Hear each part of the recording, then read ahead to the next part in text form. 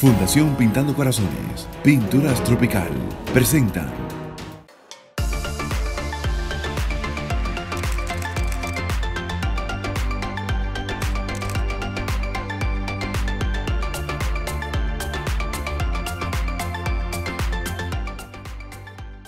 Don César. William. Qué gusto verlo siempre. Placer, y más con motivo de estas fiestas patrias de Juan Pablo Duarte. De Juan Pablo Duarte.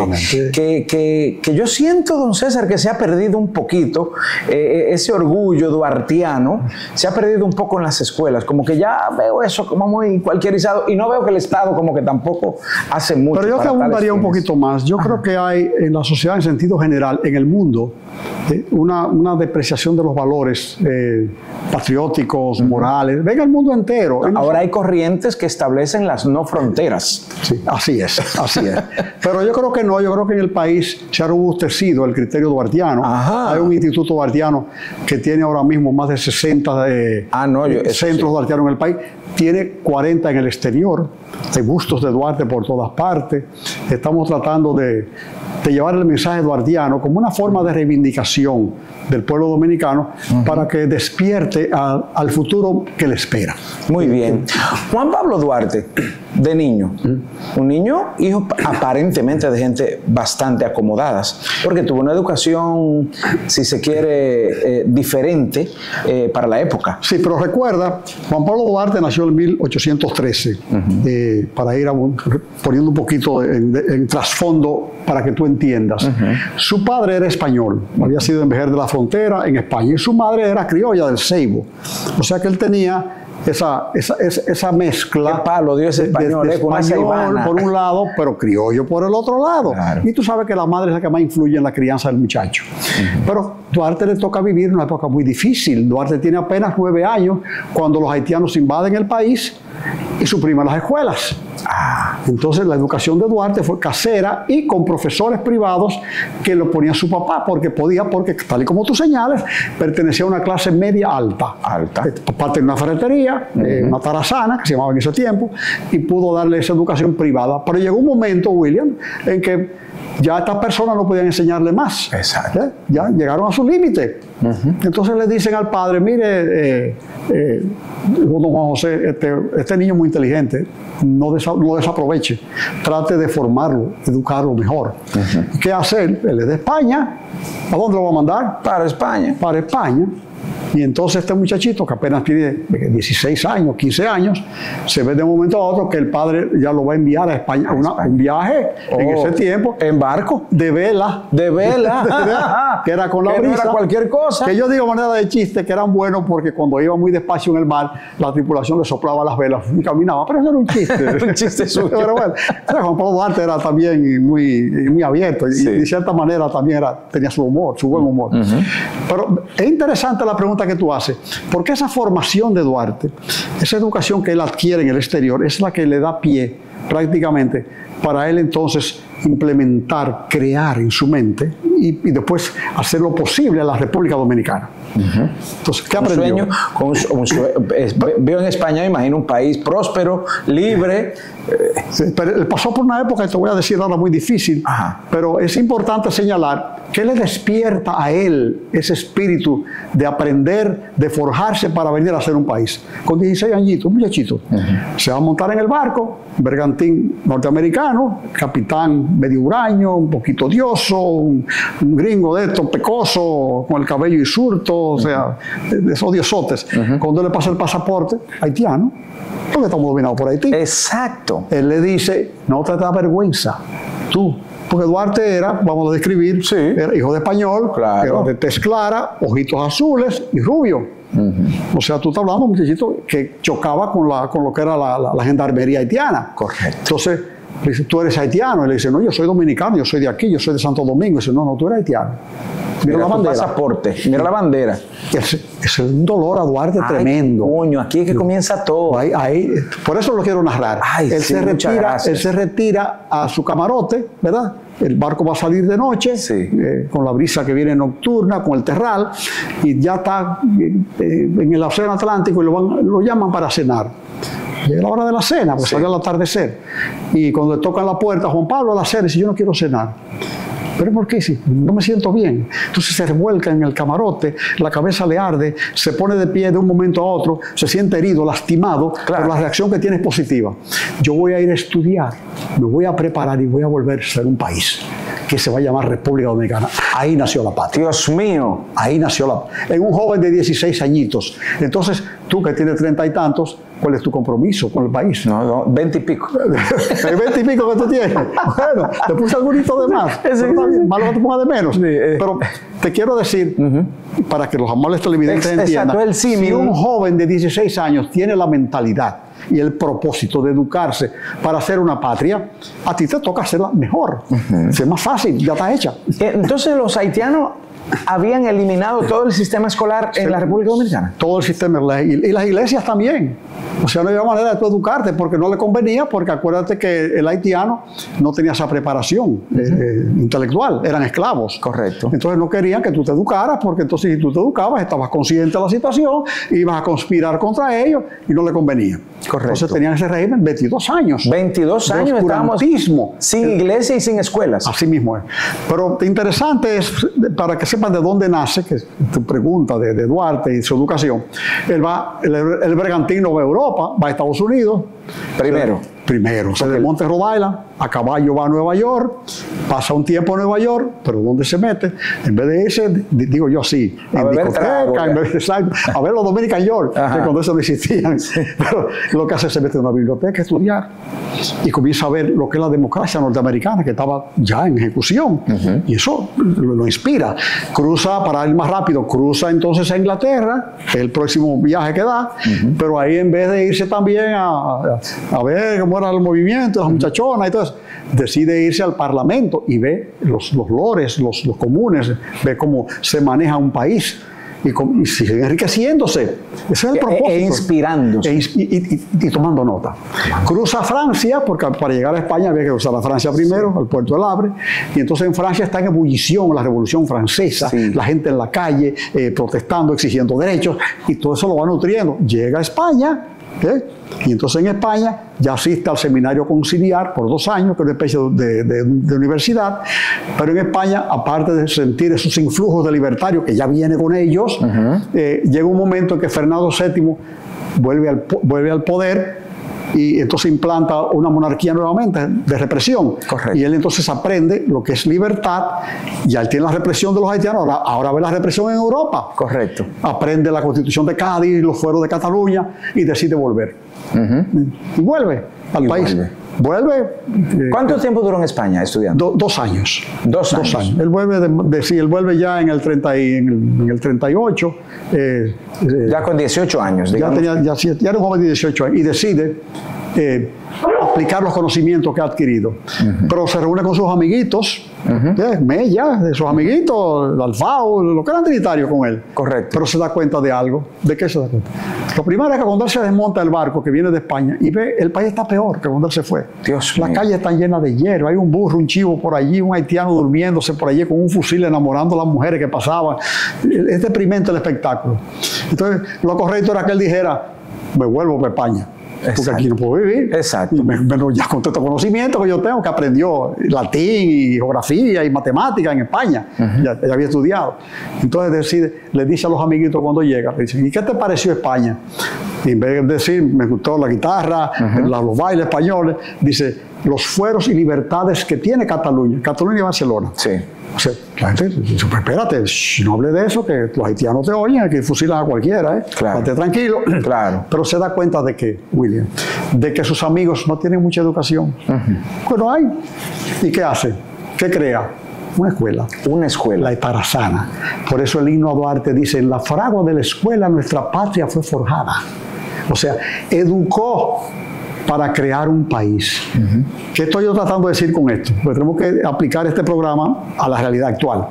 Que si el joven nuestro no estudia, no se prepara, no está siguiendo los lineamientos de Duarte, no podemos crear una República Dominicana estable. Exactamente. Entonces vamos a llamar la atención ahora de que se fortalezca la educación dominicana. Entonces, varios años en eso, educándolos en diferentes materias. En la ferretería del papá se estaban en los sacos que estaban llenos de mercancía y Duarte le enseñaba, en el patio le enseñaba esgrima, eh, pues él aprendió esgrima, o sea, con espada, eh, las armas que se usaban y, fue creando un grupito. ¿eh? Y ese grupito que eran nueve con él, se llamó La Trinitaria. Exactamente. Y él comenzó básicamente educando a esta gente, estos amiguitos. Seguro. Ese, grupito él lo fue educando. ¿En qué lo educaba? Él, diferentes materias, desde latín, filosofía, matemáticas. Le decían los filorios. Pero decían los filorios era de manera despectiva, como los filósofos. Los filósofos. De Juan Pablo Duarte. Pero también acuérdate que, vino el sacerdote Gaspar Hernández y ayudó a la educación, se integró también y educaba. Vamos a entender un poquito sobre la invasión haitiana. Mira, posiblemente un momento estelar para hablar un poquito de este tema. ¿Cuántas veces los haitianos han invadido la República Dominicana? Se han efectuado entre, entre batallas grandes, que fueron unas 14, y escaramuzas en las que salimos victoriosos, 23, 23, veces. Nos han, todas en el territorio nuestro. Nunca hemos invadido Haití. Siempre se han sido las invasiones de allá para acá.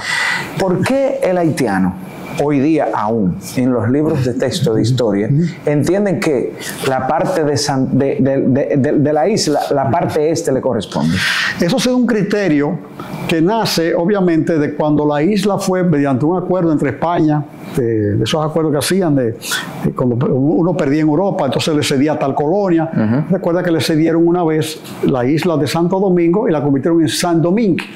Entonces pasó a ser francesa. Correcto. Como los haitianos se independizan, eran de origen francés, los haitianos principalmente, Haití. Te recuerdo, Haití era la colonia más rica de América. ¿eh? Así es. ¿Eh? Poderosa. Sí. ¿Eh? Con los colonos franceses. Correcto. Cuando ellos se independizan, que se rebelan los, los, esclavos haitianos, con razón, tendrán sus razones, ellos entienden que la isla es San Domingue. O sea, que no es que esto es de ellos, esto es de aquello. O sea, que cuando ellos se rebelan de sus colonos, la isla era única y era francesa. exacto. De ahí es que viene que ellos entienden que la isla completa le Una e indivisible, dicen ellos. Desde mm. su constitución también. Aparte de eso, tenían interés en repartir tierra y la tierra de Haití no la alcanzaba y entonces buscaron la manera de invadirnos para repartirle tierra a su gente. Correcto. Pues no le alcanzaba. Eso fue otra, otra cosa que provocó entonces la invasión. Y ellos recuperaron lo que entendían que era de ellos.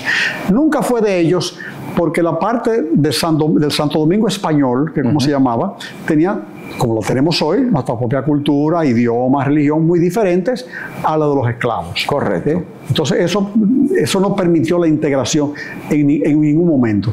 ¿Qué pasa? Hay un dato interesante. Cuando se produce esa invasión de Haití a la República, o esa ocupación de Haití a la República Dominicana, los dominicanos éramos unos 100 mil. 100 mil personas. Incluyendo los niños y los viejitos. Sí. y las mujeres. Y las mujeres eran 20 mil gente, 20 mil hombres. Eh, pero que estaban disgregados. Tal vez habían 500 de Higüey y La Vega 100 o 200. 50 mil kilómetros cuadrados. Imagínate tú. Y los haitianos eran 800 mil. Dios mío. Y tenían un ejército organizado con armas napoleónicas, porque acuérdate que eran franceses. Claro. Tenían armas modernas. Sí. Tenían un ejército, inclusive había generales haitianos que habían peleado con Napoleón. o sea, fue fácil invadirnos y doblegarnos. Sí, totalmente. Porque, verá, mucho contra poquito. O sea, pues de ahí vienen los 22 años de que nosotros no pudimos. Entonces, el mérito de Duarte es haber convencido a esas 100 mil personas que contra 800 mil poderosos podíamos ser libres y podíamos liberarnos. Eso hay que tener un discurso no, pero, pero muy profundo. Yo quiero que usted me explique qué método utilizó Duarte para convencer 100 mil gente, que es lo mismo que convencer 12 millones de personas hoy en la República Dominicana. Así es. Sin internet, sin Instagram, sin Facebook, Así es. sin correo electrónico. Así es. ¿Verdad? Porque quiero que usted me diga eso, pero ahora después de esta pausa. Bueno, ahí viene lo bueno. Ahí viene lo bueno, los que pagan. no se vayan. Señores, no se vayan. Estoy conversando con el ingeniero César Arturo Abreu, haciendo un programa especial en conmemoración del natalicio de Juan Pablo Duarte, de la formación de la República Dominicana.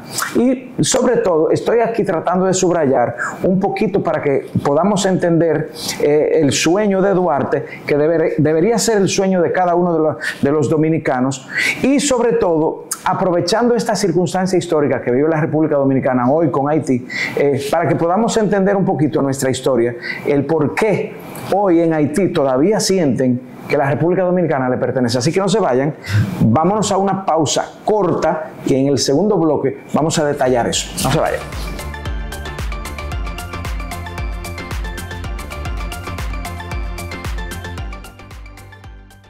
Entonces, César, la pregunta que dejé en el aire, sí. que dicho sea de paso, usted me ha hecho ahora mismo un, un aporte.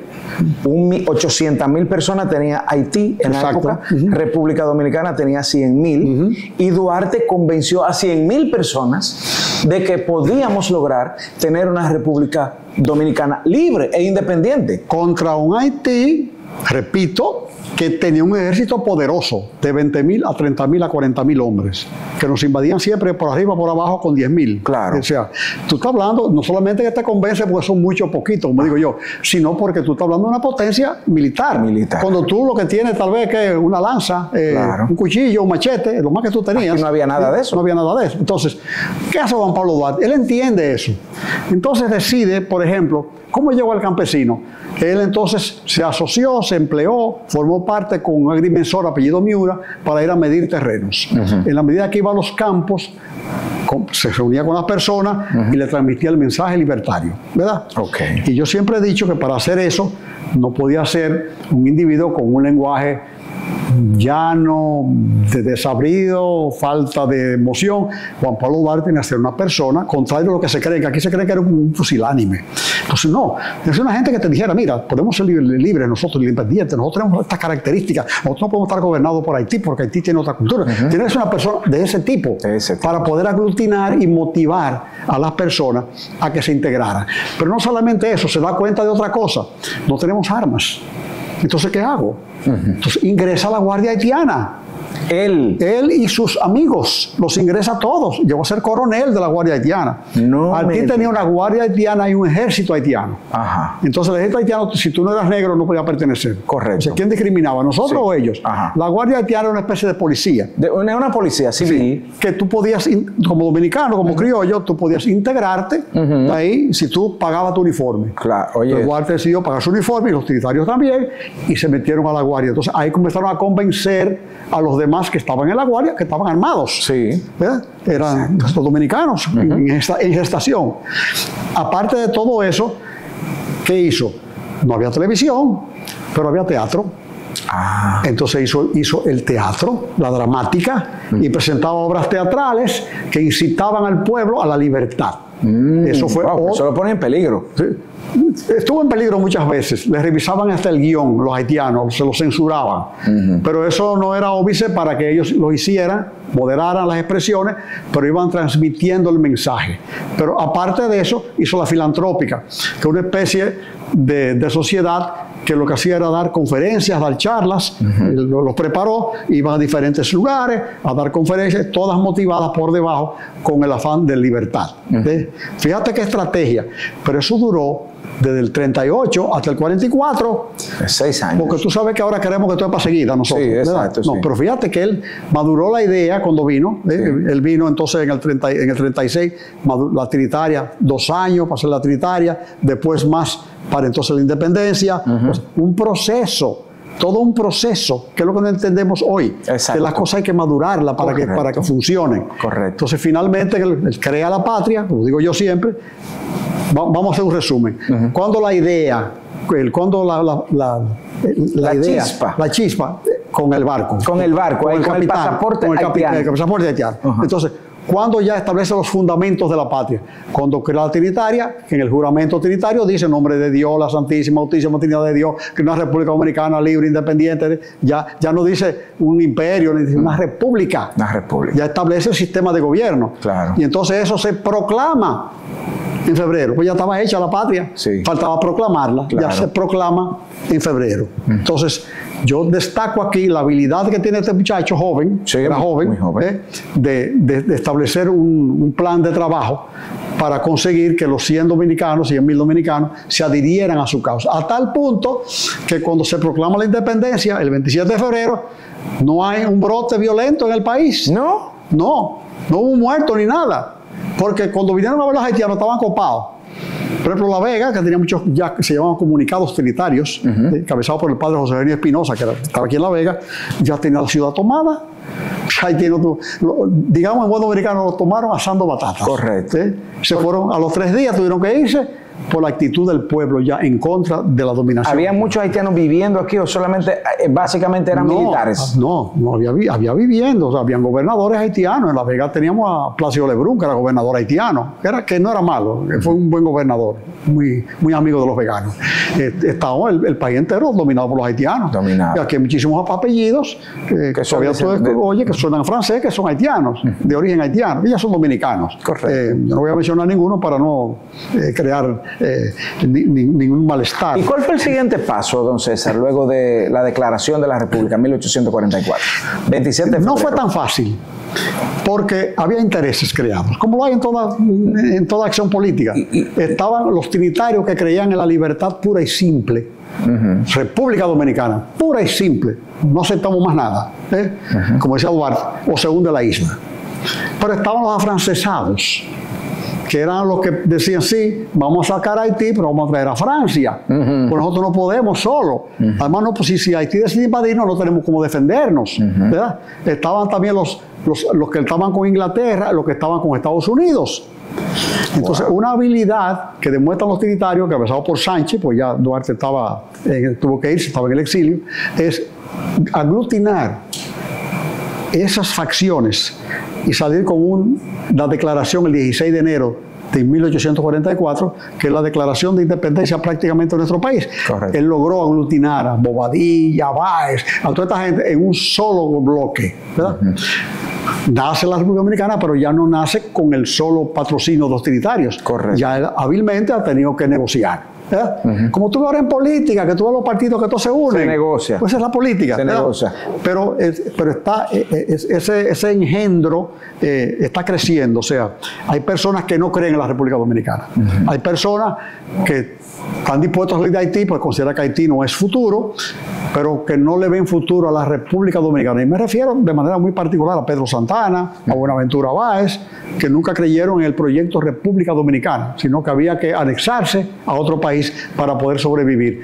Y estaban errados. Estaban no contaban con la valentía, el amor a la patria y al terruño que tienen, tenían y tenemos todavía los dominicanos. Que hemos sufrido, William, sí. y amables televidentes, invasiones de los ingleses, de los franceses, de los haitianos, Estados Unidos dos veces y a todos los hemos derrotado. A todos. A todos. ¿Cómo llegan las armas luego para poder mantener la línea y mantener la frontera? Bueno, yo te dije que se integraron a la Guardia Nacional, ya ahí tenían armas, ¿verdad? Pero el arma principal del dominicano. ¿Eran pocos? Sí, pero, pero el arma principal del dominicano, que es el arma nacional, es el machete el machete al sol, como decían los guerreros. El haitiano le tenía pánico al dominicano cuando se le abalanzaba con machetes. Porque tenían fusiles largos. Fusiles largos, eh, que tiraban un solo tiro y había que cargar. Y, que ya que eso tenemos un dominicano arriba le cortaba la cabeza. Claro. ¿verdad? Entonces, y la valentía. Por ejemplo, tú tienes la batalla del 30 de marzo, la batalla del 19 de marzo, la batalla de las carreras. Era siempre muchos y nosotros pocos, pero no contaban con el amor a la patria, porque no hay cosa que te aliente más a luchar que tú estar convencido de que lo que tú estás haciendo es lo correcto, de que es tu terruño, que eso es tuyo y que nadie te lo va a tomar. Entonces, ellos no contaban con eso, ¿verdad? Eh, sí. Pero te describí la astucia de Juan Pablo Duarte, de los trinitarios que formaron un solo grupo, todos, y a fin de cuentas, a fin de cuentas, ¿qué, ha triunfado?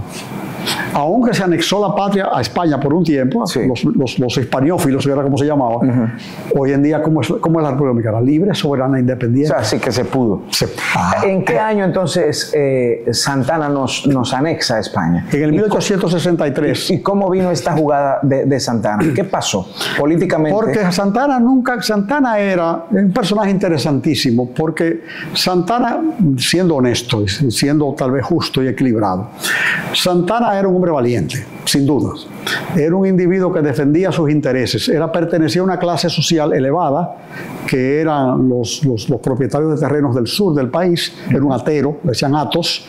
Tenía bajo su dominio las personas que trabajaban con él en su finca, que eran seguidores ciegos de él, porque él era un líder. Sí. Pero Santana tenía poca formación. Santana, hay quienes dicen que lo único que escribía era su nombre. O sea, no tenía preparación intelectual de ninguna. Era, era un individuo eh, muy, muy violento. Rico, líder, Rico, líder, violento. Y entonces hacía lo que le daba la gana. Sin educación. Y también ponía a quien él quería. Duarte era todo lo contrario. Mm. Era un individuo instruido, culto. ¿Tú sabes cuántos idiomas hablaba Duarte? Siete idiomas. Siete idiomas. En ese tiempo, que no había escuela por televisión. Qué Siete, un libro fuera de serie, un libro fuera de, y fuera de tiempo, diría yo. Y hasta en ese momento fuera de país, porque el, país, si Duarte hubiera nacido en Sudamérica o en Estados Unidos, hubiera sido un líder mundial. Sí. Por su preparación y su formación y sus aspiraciones, ¿verdad? Y su forma de ser. Pero nació en un país pequeño que todavía no había mucha, mucho concepto de lo que es la libertad, aunque él trató de inculcarla. Tenía su grupo que daba la vida por él. ¿Eh? Pues era, un líder, claro. un líder intelectual, un líder de, yo te dije, de discurso, ¿verdad? claro. Eh, y es bueno aclarar aquí, ahora que tú tocas ese punto, de que de Duarte, parte de su personalidad, que dije anteriormente que la gente considera que Duarte se vendió la idea. Eh, los dictadores dominicanos, como Lilis, como Báez, como Trujillo, se llegó al momento que hubo que buscar tres padres de la patria, porque Duarte no, no, no llenaba las expectativas. Wow. Y entonces Lili buscó tres porque no le convenía ni a Trujillo tampoco que tú cogieras un líder. Claro, que compitiera con eh, él. No, pero de ninguna manera. Entonces pusieron tres padres de la patria, cuando en realidad padres nada más uno. Sí. Y Duarte es el verdadero padre de la patria, aunque ellos tienen sus grandes méritos. Claro. Sin ellos él no lo hubiera podido hacer tampoco. No, no era posible. Pero Duarte era un individuo. Vino a La Vega, por ejemplo, para ponerte un ejemplo, por tres días se quedó cuatro. ¿Y por qué? Porque con la guitarra se iba a las esquinas y le hacían un puerco asado y le hacían un loco y un con una cosa, y Duarte se quedaba ahí. Duarte tuvo tres novias, que la gente cree que Duarte no tuvo amores. Sí, porque se habla mucho de eso. Hay libros que, que lo destacan medio raro. Por eso traigo el tema. Pero que es interesante en este programa traer ese tema, porque yo no puedo tener un padre que es un pusilánime. Al contrario, yo te describo que él es que motiva a 100 mil personas. Entonces él tenía un discurso agresivo. Claro, claro. un discurso no de barricada, pero un discurso profundo. Claro. Y que convencía. Y le ganó unas elecciones a los haitianos que le ganó unas elecciones a los haitianos. Los haitianos empezaron a, cambiar de, régimen, hicieron elecciones para congraciarse con los dominicanos, porque la cosa estaba poniendo seria. Él le ganó las elecciones. El Partido de Artistas le ganó las elecciones. O sea que él era un político también. Sí. Pero un político que no era el político común, era un político honesto, un político que no transigía con su pura y simple libertad de la República Dominicana. Él no transigía con eso. Pero hay una cosa que, a mí eh, no me da. Es como que que los haitianos se fueron tan fácil. Y, eso no eso no suena como que Que se fueron fáciles y después nos invadieron todas las 23 batallas. Pero por eso le digo. o sea, se declaró la República Dominicana, pero la libertad no llegó, no llegó. Ahí fue que vino la guerra. Vino, seguro, vino después que los expulsamos, mm. porque ellos se fueron, digamos, para coger impulso para venir allá para acá, porque la mayor fuerza de ellos, eh, militar, estaba en Haití. Estaba, tenían 10.000, era que tenían aquí, y 30.000 allá. Eh, tenían, sí, no, aquí lo que tenían ellos era un ejército, eh, digamos, de mínimo, en las, provincias, las comunes, pero que también ese ejército que estaba aquí se había dominicanizado. Ah. Pues después de tú estás 20 años en un país, claro. tú vas a Estados Unidos y pasas 20 años y tú comienzas a querer las la, costumbres de Estados Unidos. Y si te casaste con una americana, te vuelves gringo. correcto. Entonces esos haitianos venían aquí y entonces con el cariño, se casaban aquí, tenían sus hijos aquí en 22 años, estoy hablando, entonces tampoco tenían ya esa fuerza. Y en esos 22 años el idioma, ¿cómo, cómo, cómo pudo, pudieron los dominicanos mantener el español? Ese fue uno de los problemas más grandes que trajo esa divergencia de idiomas, porque ellos quisieron imponer el francés. Inclusive ellos dieron una, una ley, una resolución de que los documentos de este lado de la isla que ellos ya llamaban Haití a todo, tenían que ser en francés. Y aquí se plantaron y dijeron que no, que era en español. De ahí viene el código francés que tenemos hoy en día. Sí, los haitianos lo trajeron. Sí, un código napoleónico. Fueron ellos, sí, fue, cuando eso que lo trajeron. Entonces, ellos trataron de implantar sus costumbres, pero el dominicano las rechazaba. Correcto. ¿Usted da cuenta? Entonces, cuando viene el grito de independencia, yo te expliqué ya que todo estaba hablado en el país entero. Había ya eh, comunicados del, de los trinitarios que habían hecho su trabajo. Fulanito cogió para el este, Fulanito cogió para el sur, Duarte estuvo aquí en La Vega. O sea, había un movimiento para fortalecer la dominicanidad. Yo quiero que usted me diga cómo y por qué tuvo Duarte que irse, a dónde se fue y dónde murió. Duarte. Sí, pero después de esta pausa comercial. Muy bien. Porque es una parte fundamental que a veces no se recoge. Por ahí, de hecho, anda una fotografía eh, de un hombre en un caballo que ese, dice. Ese no es Duarte. Ese no es Duarte. Vamos a aclarar eso. Lo vamos a aclarar. Sí, cómo no. Perfecto, porque por ahí anda Sí, sí. diciendo que es la única fotografía que existe de Duarte en Venezuela. Hay una, pero no es esa. No es esa. No, es la otra. La Muy otra bien. que hace los cuadros. Que Muy tiene bien. los bocitos y que tiene un bastoncito. De acuerdo. Esa es auténtica. Perfecto, pues muchas gracias. Sí. No, se me, no se me vayan, que vamos al tercer bloque, pero después de esta pausa comercial.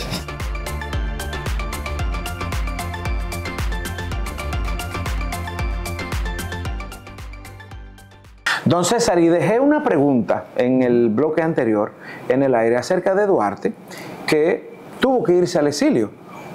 ¿Por qué él se va y los trinitarios siguieron aquí? Todos Digamos que Duarte no se fue, digamos que lo fueron. lo fueron. Se produce la independencia, ¿bien? Ajá. Pero persiste lo que yo señalé antes, los que eran, eh, los que no creían en la, en, la una indi- en la única solución que era República Dominicana Libre, Soberana e Independiente. Correcto. Y comienzan a tramar, entonces con el cónsul francés Saint-Denis, comienza a tramar Bobadilla y comienza a tramar Santana, de que hay que negociar, que hay que darle la belleza a Maná, y se produce entonces internamente en el gobierno, la Junta Gubernativa, que es la que toma la posición en lo que se hacen elecciones. Entonces, eh, los, los trinitarios, aunque tú no lo creas, dan el primer golpe de Estado en la República Dominicana Los trinitarios. y destituyen esa junta gubernativa, de- presidida por Bobadilla, porque estaban negociando para vender el país. Dios mío. O sea, toma posesión Sánchez como presidente, no Duarte. Duarte se queda y lo envían al Cibao ¿eh? a conciliar, a unificar el país. Entonces, Ahí es cuando viene a La Vega. Correcto. Y todo en Santiago y todo en Puerto Plata. Entonces, en un momento en que Mella, tal vez un poquito apresurado, lo proclama presidente. Primero lo proclamó La Vega presidente. La proclamación de Primera de Duarte presidente. presidente fue aquí en La Vega. Wow. ¿eh? en julio del 1844, donde estaba hoy el Casino Central, ahí estaba el ayuntamiento, ahí lo proclaman presidente. Ok. Y él no sabe qué responder. Pero no es que no quiera asumir, porque se ha, se ha dicho que Duarte no tenía eh, el valor sí. para, para asumir. Dice, no, pero no puede ser. Eh, ¿Bajo qué criterio? O sea, no hay elecciones. Yo puedo ser presidente si me eligen, pero no porque ustedes quieran. Exacto. Entonces, ese es su pensamiento. En Santiago le pasa lo mismo, en Puerto Plata le pasa lo mismo. Entonces comienza el, el- el otro lado, el otro bando a preocuparse. Santana entonces asume el poder dictatorial y decide entonces expulsar a Duarte. Lo expulsa. Lo expulsa eh, para Venezuela y expulsa a otros trinitarios, expulsa a Sánchez, pu- eh, Sánchez eh, expulsa, expulsa a Mella, o sea, comienza a expulsarlos a todos, porque ellos estaban con Duarte. Duarte para en Venezuela. Eh, pero no solamente expulsa a Duarte, sino que expulsa a su mamá, y expulsa a sus hermanas, Dios y expulsa mío. a su hermano, le manda el pasaporte. Pero quizás por miedo.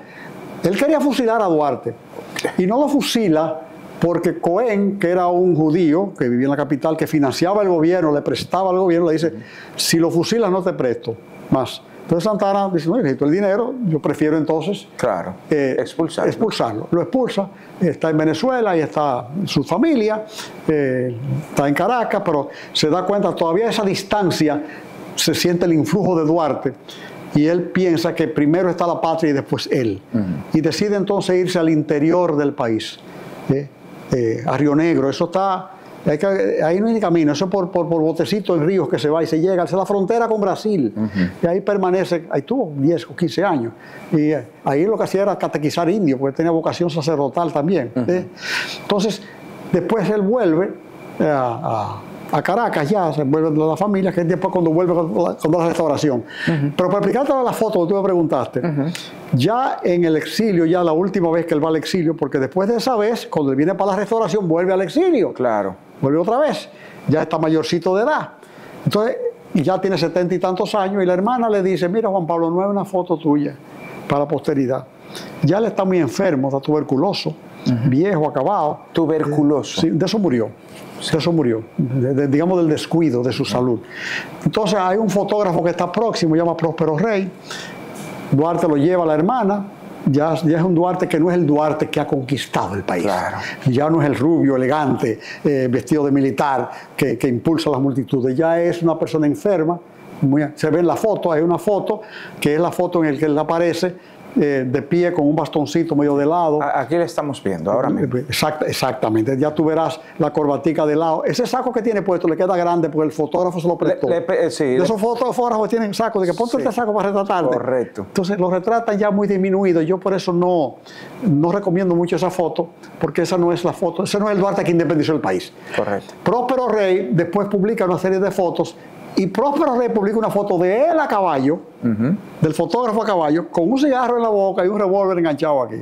Eh, y Duarte no fumaba ni nada de eso. Entonces la, confusión viene porque Próspero Rey es quien le toma la foto a Duarte y, el nombre del que está a caballo es Próspero Rey. La gente cree que es, ese es Duarte. No, Hay una sola foto de Duarte. nunca se casó Duarte. Duarte no le dio tiempo porque Duarte tuvo varias novias. Duarte tuvo... Eh, a María Bobadilla, que era del Seibo, él fue de vacaciones, se enamoraron, ella se mudó para la capital. ¿Por qué acabaron los amores? Es la pregunta, ¿verdad? Sí. El, anillo que le regaló para casarse está en el Duartiano, en el museo. Se iba a casar con ella. Pero digamos que a manera de chiste, para, que, para ah, entretener un poquito a los televidentes. Duarte toda la noche tiene una reunión con los trinitarios, conspirando, ¿verdad? Entonces ella le decía, ¿y dónde tú estabas? No, yo estaba con Sánchez, con Duarte, con los muchachos. Sí. mírate, mijo, atiende y quédate con Sánchez y esos muchachos y acabemos los amores. O tú tienes amores con ellos conmigo, acabamos los amores. Pero ahí te dije que él montó una compañía, por decirlo así, teatral. Ahí conoce entonces a quien fue su novia verdadera, ya es así, eh, digamos, definitiva, ¿verdad? La nona Lluveres, le decían la nona Lluveres, prima de un trinitario, y es así, estaba con él en la conspiración y se sentía y con esa también se iba a casar. Eh, y, tal vez queda interesante relatar, porque dice eh, vivamente lo que Duarte inspiraba en el, sexo opuesto. ¿eh? Ella escribió. Ella tiene esta actitud, esta actitud. Cuando Duarte es expulsado, que ella lo acompaña al muelle y le da un beso y le dice, está con su mamá y su papá en ese tiempo, y le dice, mira Juan Pablo, yo te amo y te adoro, yo esperaré hasta que tú vuelvas y me vestiré de negro. Wow. Hasta que tú vuelvas. Estamos hablando que eran jóvenes, pero te va para Venezuela, para venir una carta de Venezuela, aquí eran tres meses en un barco, si era acaso, pero mantenían la relación. Duarte vuelve para la restauración, pero no llega a la capital, no, lo dejan llegar, porque vienen los celos nuevamente y Duarte nuevamente tiene que irse al exilio. Otra vez, esta vez que embajador dominicano, pero fue, fue sacado de aquí, no la vio. En eso Duarte muere para andar un poquito rápido. Y ya, ya Duarte tiene setenta y tantos años. Duarte muere después en Venezuela, como todo el mundo sabe, lo entierran allá, luego lo sacan del, cementerio, lo traen aquí para ya llevarlo ya en tiempo de Lilis, ya estamos hablando, en 1800, y lo llevan para llevarlo entonces a la, que era la catedral, ahora está en, el monumento que hay en el Parque Independencia. Correcto. Y entonces ella está viva todavía, vestida de negro. Dios mío, esperando. lo entierran. Entonces viene, viene el, entierro de, los restos de Duarte, ¿eh? viene caminando por la calle El Conde, primera vez que tocan el himno nacional que se puede marchar, porque era Juan Pablo Duarte, y el episodio es que quiero tengo que decirlo porque para mí es emocionante, que cuando viene ella, le dicen a ella, mira, viene Juan Pablo, tu novio, tú los restos, quiere esperar. No, yo no puedo casi caminar, vivía en una casa de dos pisos frente al Parque Colón, yo me voy a parar en el balcón y por favor, cuando pase el féretro, una cajita que la tiene el Instituto Guardiano, yo le salgo y le rezo, y, gracias.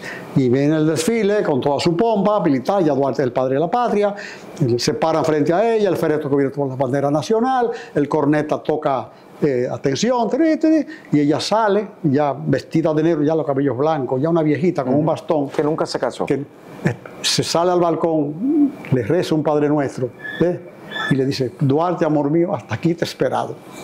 Y murió cosa tan... A, lo poco. Lo que quiero decirte es, una persona que inspire un amor así en una mujer es porque es viril. Claro. ¿Eh? Para no usar otra palabra. Es porque tiene cualidades de hombre. Porque ninguna mujer va a querer un hombre, es un pusilánime que no, que no, que no parezca un hombre. Entonces despertó en ella ese amor tan grande y tan profundo. Tenemos informaciones de que tuvo una novia en Venezuela, le escribió un poema, si amorosos me vieran tus ojos, o sea, se inspiró en ella, terminaría mis penas en bien, quitarías así de mi sien esta corona que me ciñe de abrojo, porque era poeta. Claro. escribía. Y escritor. tenemos de él su proyecto de constitución y tenemos las cartas que hacía, porque desafortunadamente eh, la, todo lo que él escribió se quemó. Eh, desapareció, pero las cartas quedaron, quedaron en manos de quien se le dirigía y de ahí extraímos nosotros lo que es el ideario de Juan Pablo Duarte. Tenemos la dicha los dominicanos de tener un padre de la patria ejemplar, un individuo que no transigió nunca con sus ideas de la República Dominicana, que la forjó, que le hizo su escudo, que le hizo su, su lema, Dios, paz y libertad, ¿eh? que se ideó su bandera, una bandera llena de simbolismo, Creo que tal vez es oportuno este momento para recordarlo. Muchos no saben cómo se originó la bandera dominicana, de dónde viene, cuál es el origen. Pues mira, la bandera dominicana viene de la haitiana. De la haitiana. Aunque parezca, fíjate que Duarte nunca, Duarte decía, yo no odio al pueblo haitiano, yo lo admiro, pero no podemos estar juntos. Tan sencillo como eso. Somos diferentes. eso es todo. Y eso es la filosofía que tiene que el dominicano de hoy. Lo admiramos, lo respetamos, pero juntos no. O sea, no podemos compartir la isla. Es imposible, pues somos muy diferentes. El asunto es que los haitianos se independizan de Francia, toman la bandera francesa, que es azul, blanca y roja, y en esa noche que ellos tienen los cuchillos largos, que mataron todos los franceses, le quitan el blanco ya con sentimientos de, odio y arrancan el blanco y unen el, azul con, el, rojo, y, todavía dice que se parece mucho a la, del opresor y la voltean. Esa es la bandera de Haití. ¿Que nace de qué? De un resentimiento, de un, odio. Pero, pero, Duarte toma esa bandera y dice, es imposible. Yo voy a reintegrar el blanco en la bandera. Porque los dominicanos somos una unión de razas. Correcto. No podemos excluirla. Y la voy a poner en forma de cruz el blanco, no voy a poner otra, otra franja. Y le dice un trinitario, pero la cruz es la cruz del sufrimiento. Dice, no, es la cruz de la redención de Cristo, del pueblo dominicano. Y entonces le pone la cruz a la bandera. Él era medio eh, sacerdote, ¿no? O sea, medio sacerdote. Él estuvo a punto de ser sacerdote con San Genís, que era un sacerdote que estaba evangelizando en, Río Negro, y, lo quiso ordenar, porque le vio su vocación de, de amor. Y, y él le dijo, yo no puedo porque tengo una mi, misión es la República Dominicana. Entonces no puedo ser sacerdote, lo, lamento mucho. Cuando él llega a, Venezuela, ¿es reconocido como tal? ¿Se conocía en Venezuela su historia? Y, sí, llegó, el punto, llegó el punto de que él es, le proponen, debido a su conocimiento, lo proponen como profesor de la Universidad de Caracas de Venezuela. ¿eh? Porque conoce un individuo de mucha cultura. Claro. Pero había una condición Después ser profesor, pues tiene que ser venezolano. Lo lamento mucho, yo soy dominicano. No transigió. Y no transigió. Nunca transigió. un empleo remunerativo y de, y de posición. Claro. Eh, porque tenía ese concepto de la dominicanidad. no, yo no puedo ser venezolano. Yo soy dominicano. Qué bueno. Eh, Entonces, sí lo reconocieron. Eh, la familia de Duarte, una familia importante. Él tiene un primo que fue presidente de Venezuela. Ayala. Entonces, estamos hablando te repito, los dominicanos tenemos el lujo de haber tenido un padre de la patria eh, que con una formación extraordinaria, con amor al país, con un desvelo, la fortuna que tenían, todo, todo se fue aportando el dinero a la causa de la República Dominicana. Todo. Le escribió a la mamá y le dijo, todo lo que he heredado de mi padre, todo lo que hay, apórtelo a la causa de la libertad. Que cuando yo vuelva, no se preocupen que yo trabajaré en la ferretería nuevamente y yo voy a rehacer el dinero. No tuvo oportunidad, pero murieron en la pobreza.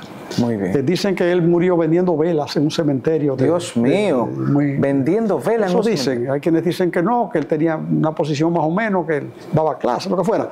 Pero murió muy pobre. Murieron en ¿Y en Venezuela no se recoge ningún dato? Sí, ya se ha ido a Venezuela, a los sitios donde él estuvo, se han recogido los datos, está la casa donde él vivió eh, está. Sí, sí, sí, hay, una, placa en Venezuela que está ahí. Y en esa casa murió.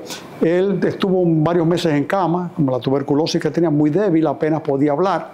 Ya cuando apenas podía balbucear algunas palabras, que ya llamaron al sacerdote para que él se confesara y le dio la extremunción. El sacerdote se acercó en compañía de él, estaba su hermana Rosa, que siempre lo acompañó, hay que mencionarla, Rosa Duarte, hermana de él. Eh, él hizo señas al sacerdote y, no podía casi hablar, no tenía aliento. Y se acercó y le murmuró algo.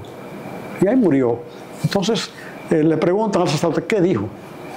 Eh, sus últimas palabras, ¿cuáles fueron? Viva la República Dominicana. Dios mío. Y ahí murió. Así es. Nos vamos. bueno, Terminamos este programa. Con pero no con tristeza. No, no con tristeza, con alegría. Pero con alegría. Añorar. Añorar. Yo me emociono mucho cuando veo eso, porque digo, pero señores, ¿cuánto nos falta a los dominicanos de amar este país? de respetarlo, de honrarlo, de quererlo, de pararnos cuando suene el himno, de cuando sube la bandera y la bajan, ponernos nosotros, ponernos la mano en el pecho, sentirnos orgullosos de ser dominicanos. ¿eh? Entonces, veo este sacrificio de este hombre y de otros como él, que fueron muchos, ¿verdad? Entonces, nosotros no hemos llegado a entender en su verdadera profundidad eh, eh, todo este legado que tenemos. Tenemos un país orgulloso, de tener esa bandera, tener ese himno, tener ese escudo, cosas hermosas, bellas, llenas de simbolismo, el mismo nombre, República Dominicana, de Dominus, del Señor, República del Señor, hasta su nombre eh, eh, es, excelso. Entonces, sirve este programa para incentivar a que volvamos como Duarte y con Duarte amar la patria y a servirla con amor. Muchas gracias. Sí. un abrazo.